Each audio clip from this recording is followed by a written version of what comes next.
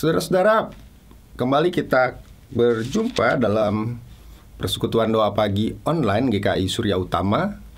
Kita akan membaca dan merenungkan firman Tuhan. Dan sebelumnya mari kita berdoa terlebih dahulu.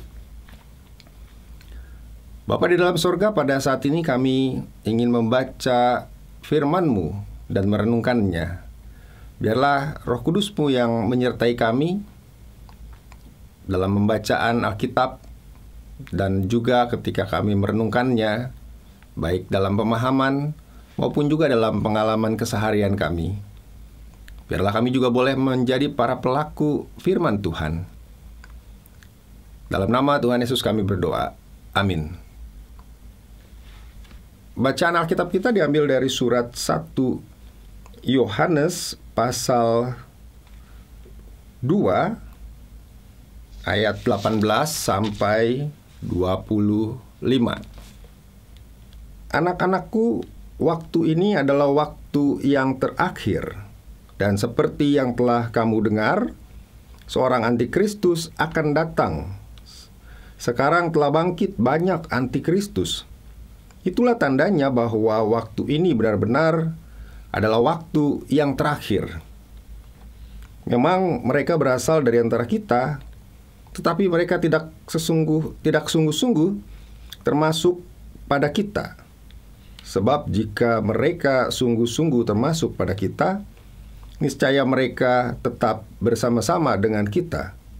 Tetapi hal itu terjadi supaya menjadi nyata bahwa tidak semua mereka sungguh-sungguh termasuk pada kita. Tetapi kamu telah beroleh pengurapan dari yang kudus, dan dengan demikian kamu semua mengetahuinya. Aku menuliskan kepadamu bukan karena kamu tidak mengetahui kebenaran, tetapi justru karena kamu mengetahuinya dan karena kamu juga mengetahui bahwa tidak ada dusta yang berasal dari kebenaran. Siapakah pendusta itu? Bukankah dia yang menyangkal bahwa Yesus adalah Kristus? Dia itu adalah antikristus, yaitu dia yang menyangkal baik bapa maupun anak. Sebab barang siapa menyangkal anak, ia juga tidak memiliki bapa. Barang siapa mengaku anak, ia juga memiliki bapa.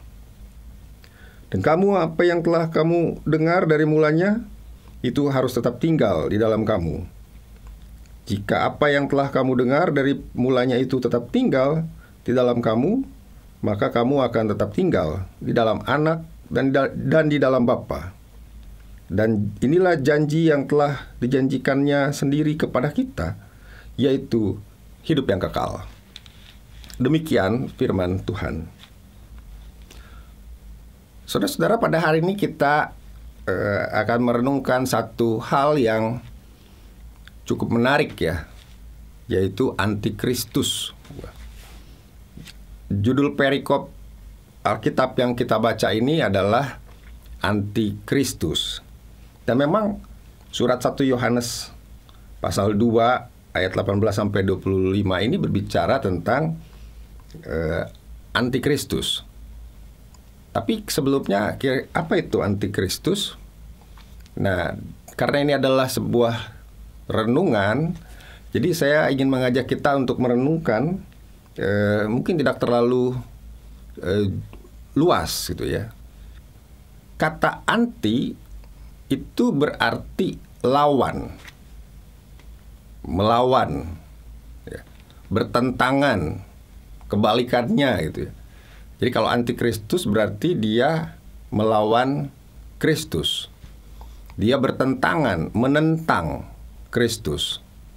Dia berseberangan. Saya tidak mengajak kita untuk melihat satu sekte. Ya mungkin ada sekte yang namanya antikristus, antichrist. Tapi kita nggak bahas itu dulu ya. Tapi saya mengajak kita untuk melihat satu eh, hal yang bisa kita jumpai dalam kehidupan kita sehari-hari. Antikristus adalah hal-hal yang bertentangan dan melawan Kristus. Itu juga bukan cuma soal sekte, tapi soal pemahaman, soal sikap, soal perilaku yang melawan Kristus. Dan itu bisa kita jumpai dalam kehidupan kita sehari-hari.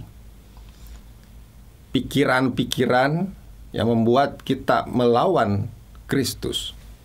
Pikiran perilaku-perilaku, tindakan-tindakan yang membuat kita menjauh dari Tuhan. Bahkan perilaku kita yang membuat orang lain tidak percaya pada Tuhan, pada Kristus, pada Yesus Kristus. Jadi kalau siapa yang disebut sebagai antikristus itu bukan hanya soal sekte, tetapi juga siapa pun yang punya sikap, yang punya kekuatan, yang punya niat, yang punya pikiran untuk melawan Kristus. Bisa jadi dia adalah orang Kristen itu sendiri. Maksudnya dia beragama Kristen. Seperti kata ayat 19 di sini. Memang mereka berasal dari antara kita, dari dalam persekutuan orang-orang Kristen pada zaman itu. Mereka adalah orang-orang yang kenal siapa Tuhan Yesus. Mendengar, mempelajari, mengenal gitu ya. Tapi bedanya adalah kalau orang percaya, mengenal dan percaya, mengikuti apa yang menjadi perintah Kristus, mereka mengenal tapi mereka tidak mengikuti justru mereka melawan melawan Tuhan Yesus Kristus ya. Melawan dan membuat orang tidak percaya pada Kristus. Kalau ngomong soal orang mungkin pada zaman itu Saulus bisa disebut sebagai antikristus karena sikapnya melawan Kristus. Ya pada akhirnya kalau dia melawan Kristus ya kalah ya. Justru dia malah menjadi pengikut Kristus, bukan hanya pengikut tetapi menjadi rasul. Nah, saudara-saudara kita perlu berhati-hati terhadap uh, antikristus ini. Baik itu sebagai kekuatan, baik itu sebagai pemahaman, baik itu sebagai perilaku.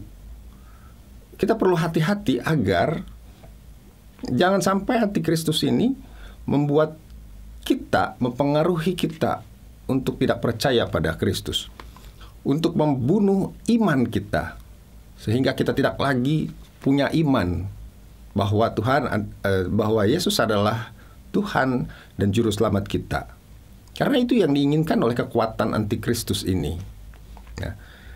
Tetapi di sisi lain, kita juga perlu berhati-hati agar antikristus itu tidak ada dalam diri kita. Maksudnya kita juga perlu berhati-hati agar jangan sampai justru sikap kita, pikiran kita, perilaku kita membuat kita melawan Yesus Kristus, membuat orang lain justru tidak percaya pada Tuhan. Penulis surat Yohanes eh, surat 1 Yohanes ini mengingatkan para pembacanya agar berhati-hati itu. Mengingatkan bukan karena mereka belum tahu, tapi mereka juga sudah tahu gitu kan. Mereka tahu apa yang baik, apa yang benar. Mereka tahu tentang kebenaran. Nah, penulis surat 1 Yohanes ini mengingatkan mereka untuk tetap berpegang teguh pada kebenaran itu. Yaitu bahwa kebenaran yang dipegang itu adalah bahwa Yesus adalah Tuhan dan juru selamat. Nah, saudara-saudara, kita bisa saja ya di tengah-tengah arus informasi global eh, yang tak terbatas, banyak sekali informasi-informasi yang bisa masuk yang bisa kita dapatkan, tapi tanpa kita tahu mana yang benar, mana yang tidak benar, atau mana yang benar dan mana yang sepertinya benar. Di luaran sana banyak beredar pemahaman-pemahaman yang secara logis sangat masuk akal, tetapi menyesatkan dan membuat kita bisa jadi tidak percaya pada Tuhan Yesus Kristus. Di luaran sana mungkin ada yang namanya sekte-sekte tertentu, antikristus lah namanya namanya ya. Tapi kalau kita melihat itu secara jelas, mungkin kita bisa siap. Wah, ini sekte antikristus. Oh, ini orang yang jelas-jelas antikristus. Kita menjauh gitu.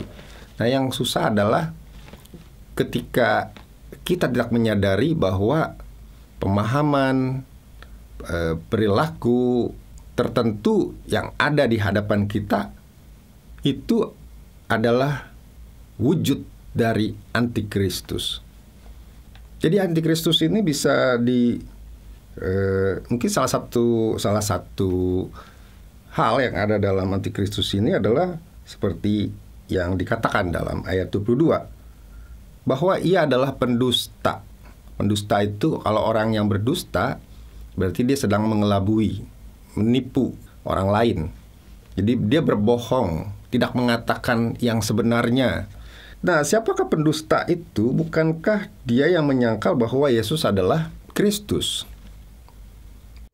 Pikiran-pikiran, logika, dan perbuatan antikristus ini membuat kita melawan Kristus, membuat kita jauh dari Tuhan.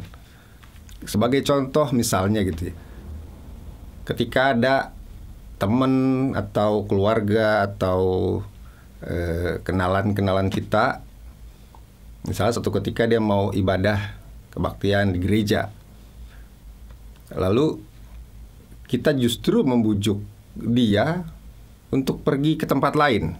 Entah itu jalan-jalan, entah itu liburan atau pokoknya melakukan sesuatu yang menurut kita itu menyenangkan.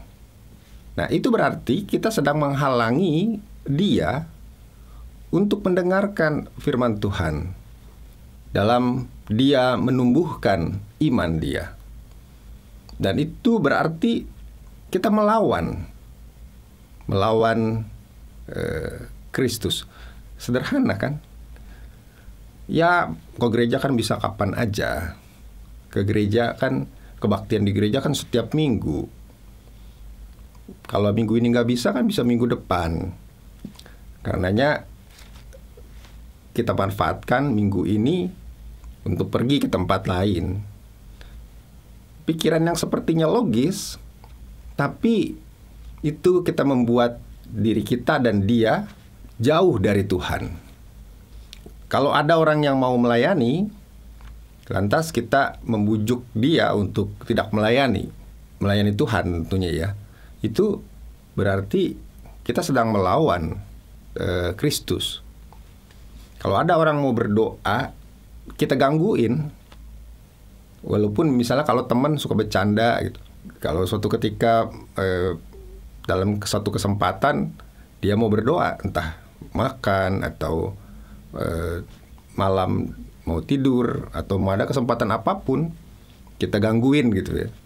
Maksud kita bercanda. Nah, kita sedang menghalangi dia untuk datang kepada Tuhan. Nah, saudara-saudara, kalau antikristus sebagai satu sekte, kita dengan mudah kita bisa menghindari. Kalau mereka sudah mengaku saya adalah antikristus, kita sebagai pengikut Kristus, maka dengan mudah kita bisa hindari. Nah, justru yang sulit dihindari adalah ketika pikiran-pikiran antikristus itu, kekuatan antikristus itu hadir dalam kehidupan kita tanpa kita sadari membuat kita justru menjadi pendusta. Padahal kita bilang percaya, tapi sikap dan perilaku kita e, membuat diri kita dan orang lain tidak percaya pada Tuhan, jauh dari Tuhan. Nah, biarlah saudara-saudara di pagi hari ini kita diingatkan bahwa di zaman akhir ini kekuatan dari antikristus itu begitu besar, begitu kuat, baik yang terlihat maupun yang tidak terlihat, yang membuat kita jauh dari Tuhan dan bahkan melawan Tuhan. Biarlah kita diingatkan dan juga diberikan hikmat untuk tetap percaya kepada Tuhan, kepada Yesus Kristus sebagai Tuhan dan Juru Selamat kita, baik dalam perkataan maupun juga dalam perbuatan dan pikiran kita. Tuhan memberkati. Mari kita berdoa. Kami mengucap syukur ya Tuhan untuk iman yang Kau berikan kepada kami. Ajar kami untuk kami boleh tetap setia kepada Tuhan, percaya kepada Tuhan, dan tidak melawan, menentang kehendak Tuhan dalam hidup kami. Ajar kami juga untuk kami tidak membuat orang lain jatuh, tidak menghalangi orang lain untuk datang kepadamu. Sebaliknya, biarlah melalui kami, orang-orang di sekitar kami, boleh berjumpa dengan Tuhan, bertumbuh dalam iman mereka kepada Tuhan. Pakai kami ya Tuhan untuk menjadi alatmu dalam memberitakan firman Tuhan kepada orang-orang di sekitar kami. Di dalam nama Tuhan Yesus kami berdoa. Amin.